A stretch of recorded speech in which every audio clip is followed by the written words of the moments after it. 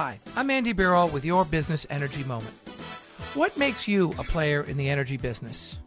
Well, folks, as my mother used to say, the first sale is to yourself, Andrew. So, your confidence and your expertise is directly tied. The more you believe you are good in this business, the more experience you'll get. The more experience you'll get, the more confidence you'll have. The more confidence you'll have, the better you'll do. Just simply believe in yourself and go out and sell. I'm Andy Birol with your Business Energy Moment.